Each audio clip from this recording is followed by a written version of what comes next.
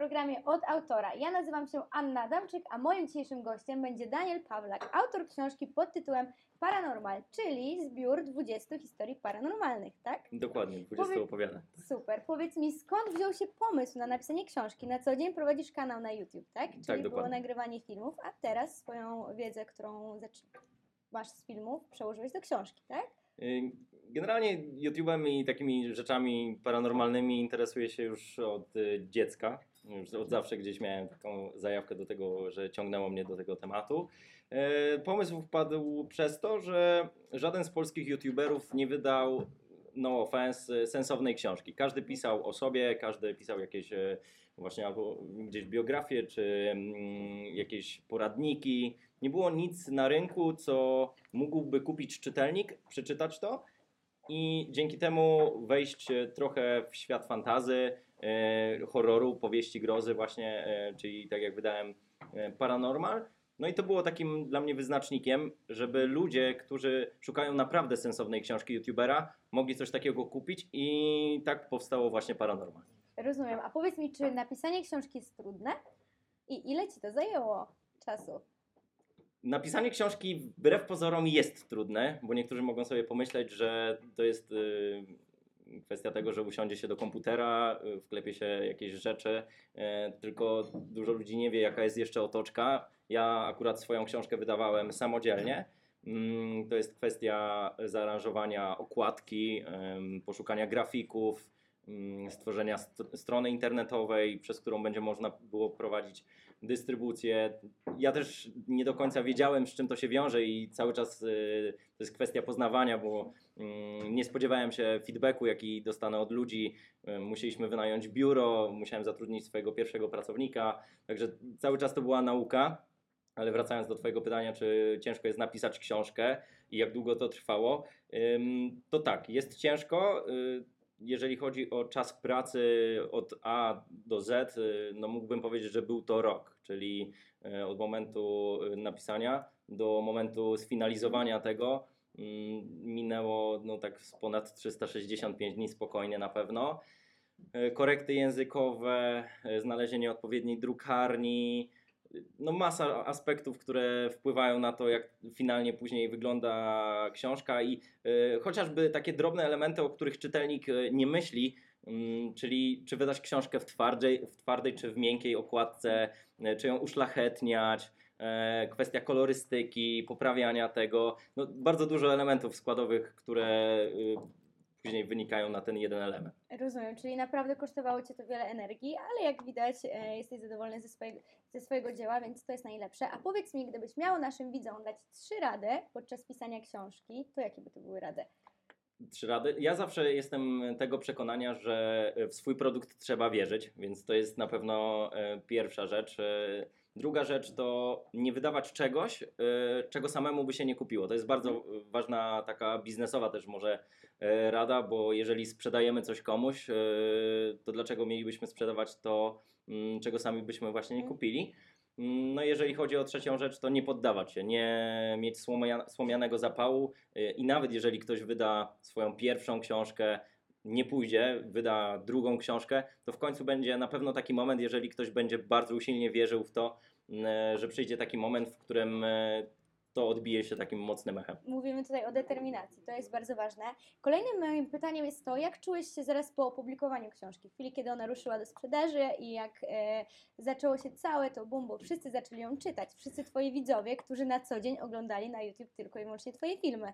I czy to, była, to były większe emocje niż podczas czytania komentarzy pod, e, pod swoimi e, filmami, czy może jakoś mniej? Wiesz co, to był case, którego ja totalnie nie znałem. E, Nigdy nie wydawałem wcześniej książki, nie znałem osoby, która wydawałaby książkę.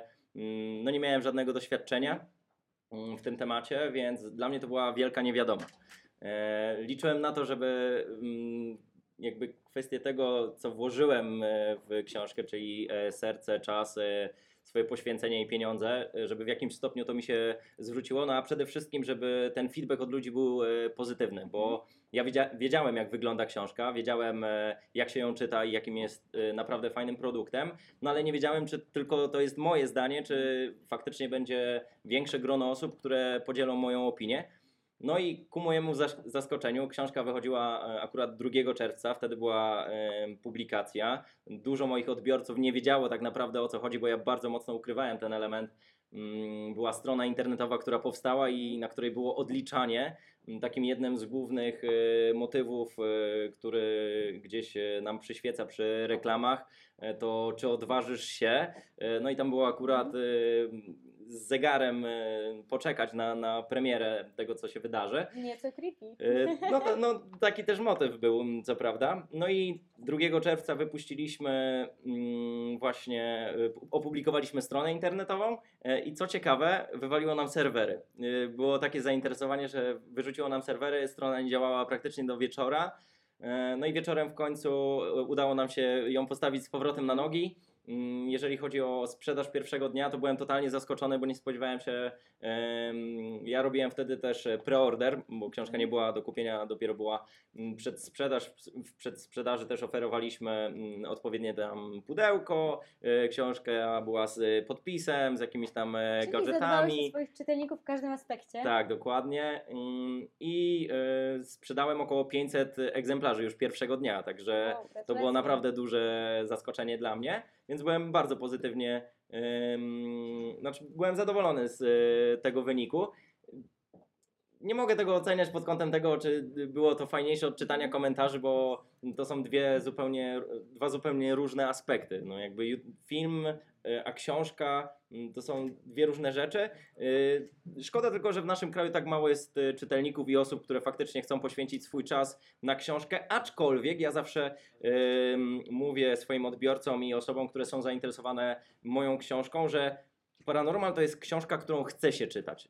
Tu, tu jest 20 opowiadań, e, na które tak naprawdę poświęcisz z 20-30 minut na jedno opowiadanie i one są ze sobą jakoś autonomicznie powiązane, aczkolwiek e, no nie tworzą takiej całości, że musisz mm, książkę, y, zaczynasz tutaj i kończysz tutaj i dopiero wiesz jaki jest sens. Czytając każde opowiadanie po kolei zaczynasz mm, łączyć niektóre fakty. Jest takie opowiadanie o malarzu, yy, które gdzieś później też się przeplada, yy, że ten e, chłopak, yy, znaczy ten mężczyzna, który w jednym opowiadaniu yy, maluje obraz, yy, nie posiadając oczu, umiera, później ten obraz znajdują policjanci i w kolejnym opowiadaniu jest jego historia, jak był e, młodym żołnierzem e, i tam są Ukraińcy, którzy atakują wioskę. Także no jest dużo bardzo fajnych takich ciekawych połączeń, ale fajnym właśnie y, aspektem jest to, że mm, to nie jest tylko moja opinia, ale wszyscy czytelnicy, którzy zakupili mój e, produkt, mm, potwierdzają to, że Paranormal to jest książka, którą fajnie się czyta i na, naprawdę chce się to czytać. A skoro już masz doświadczenie w nagrywaniu filmów oraz napisałeś książkę, to może czas e, zekranizować tą książkę. Myślałeś o tym? Albo chociażby o napisaniu scenariuszu do jakiegoś filmu? Y, Tak, myślałem nad tym już niejednokrotnie, y, żeby zekranizować Paranormal, y, tylko no, wiąże się to z ilością rekwizytów, które musiały być tutaj poświęcone, czy statystów. Mm, Możliwe, że kiedyś zrealizuję ten cel, bo oprócz tego, że napisałem książkę, wydałem również audiobooka. To był cały pakiet tak naprawdę, który powstawał. To było naprawdę ogrom pracy, y, który włożyłem w Paranormal. Mm, I zawsze gdzieś moi odbiorcy, y, oglądając moje filmy, y, czy mm, pamiętam sytuację na maturze, miałem wydłużoną maturę, bo pani powiedziała: Daniel, masz tak piękny głos, że nie, chcia, nie chciałyśmy ci przerywać. I chciałem dać też swoim odbiorcom właśnie możliwość tego, że ci, co chcą przeczytać książkę, będą mogli to zrobić, ale ci, którzy uwielbiają słuchać audiobooki, również będą mogli to zrobić. Więc kolejny etap, znaleźć dystrybutora, żeby zabezpieczyć jakoś prawa autorskie przed tym wszystkim. Mm, No i dystrybuujemy również Paranormal przez audio, audiotekę. Tam również można zakupić e, i poznać to, co jest w książce. Dodatkowo mm, w książce są zaimplementowane kody QR, m, które powodują, że ta książka staje się interaktywna. Po Mhm. każdym e, opowiadaniu, które przeczytasz, jesteś e, w stanie zeskanować sobie ten kod QR, który przekieruje cię do danego filmu, który jest nawiązaniem do opowieści e, i jest zagadką. Po rozwiązaniu t- 20 zagadek, bo do każdego opowiadania są zagadki, mm, jest finalne, które mm, polega na tym, że jest, no nie mogę powiedzieć co, ale miejsce, do którego można wysłać rozwiązania Mhm. i po rozwiązaniu wszystkich zagadek można wygrać 5000 zł. Do dzisiaj Wow. co ciekawe, y, książka jest y, dystrybuowana już y, pół roku. Do dziś y, znalazła się tylko jedna osoba, która była w stanie rozszyfrować mniej więcej zagadki, więc wbrew pozorom nie są to tak łatwe, jak y, mogłoby się wydawać. Czyli niezłe łamigłówki. Dokładnie. E, powiedz mi, jakie są Twoje plany na przyszłość? Przewidujemy kolejną książkę, czy raczej skupiamy się na kanale na YouTube i Y, Można powiedzieć, że jest już nawet w trakcie pisania kolejna część y, z racji feedbacku, który otrzymałem od y, swoich odbiorców. Paranormal sprzedało się w ponad 5000 egzemplarzy przez te pół roku. Jak na własną dystrybucję, to jestem naprawdę zadowolony. Mm, Bo ja strzelałem w wynik 1500 może i byłbym zadowolony, więc 5000 to jest naprawdę wow, a książka cały czas idzie jak, e, jak świeże bułeczki. Mm, Więc jestem w trakcie y, pisania drugiej części. Ona będzie wyglądała trochę inaczej, też z racji tego, że wśród tych 5000 osób, no praktycznie ja mogę powiedzieć, że 100% czytelników jest zadowolona, a 99% klientów, no bo y, zawsze to się wiąże z kwestią wysyłki e, czy jakichś rzeczy, które, które się pojawiają, to na pewno pojawi się jakaś kolejna część. super. Ale kiedy? No jeszcze nie wiem. Super, w takim razie my oczekujemy kolejnej części. Ja Ci bardzo gratuluję, bo książka jest ogromnym sukcesem i cóż, czekamy na kolejne dzieła. Dziękuję, Dziękuję bardzo za bardzo. rozmowę.